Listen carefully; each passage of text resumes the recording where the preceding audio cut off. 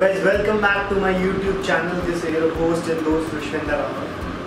And today I'll talk about the CORS vulnerability, which is also known as cross origin resource sharing.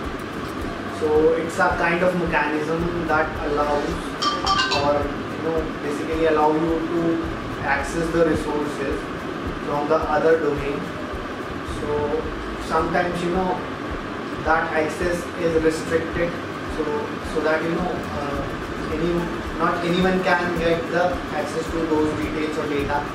So that is why that is restricted. So that needs to be you know managed in a, a perfect way or a perfect manner. So that is why CORS comes into picture.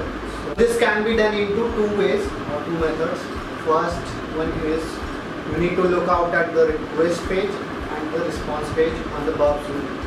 So request is being shared with the server, the client basically request from resources from the server and the server respond with some output. So first you need to look out for a method which is also known as allow access control origin. So you know the request which is being shared from that origin, particular that region is requesting. So server would know that you know this is I know I can you know rely on this guy or this origin. So I'll share these resources back. So that is the first thing. And this other one is you know if a host is requesting something, so that is also a one way whenever the response shows that header allow access control origin you can check out. So after this uh, this can be done into three ways.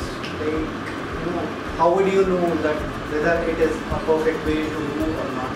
So there are like three possible scenarios you know in which a server would like respond you.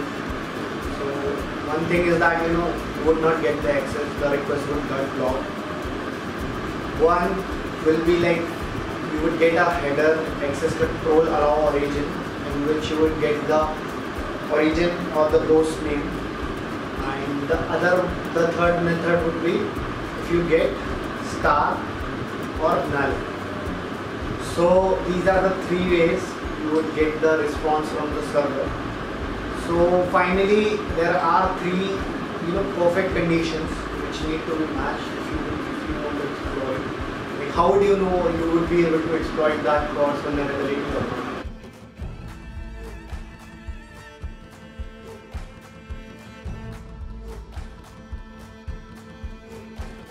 So this is all about the CORS vulnerability. Uh, I'll try to show you the practical implementation in the next video.